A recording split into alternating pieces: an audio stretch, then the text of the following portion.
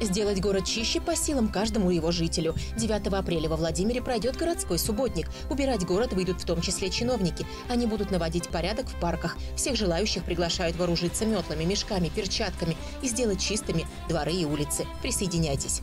Как изобретательность и любопытство выручают сразу из двух бед, узнают юные жители Владимирской филармонии. Музыкальная сказка с испанским колоритом под названием «Крестьянин Бернардо и молодые сеньоры» начнется там в субботу в полдень. Заранее отпраздновать День космонавтики и вспомнить первого космонавта Юрия Гагарина предлагают в воскресенье парки города. В Добросельском пройдет спортивно-познавательная программа «Мы и космос». Она начнется в 11 часов. Секреты профессии космонавта узнают гости Центрального парка. Для детей там подготовили программу «Хочу быть космонавтом». Она начнется в полдень. «Радуга талантов» – праздник танца и молодости. Детская школа хореографии приглашает на отчетный концерт. Он пройдет в областном дворце культуры и искусства в воскресенье. Начало в 15 часов. Of.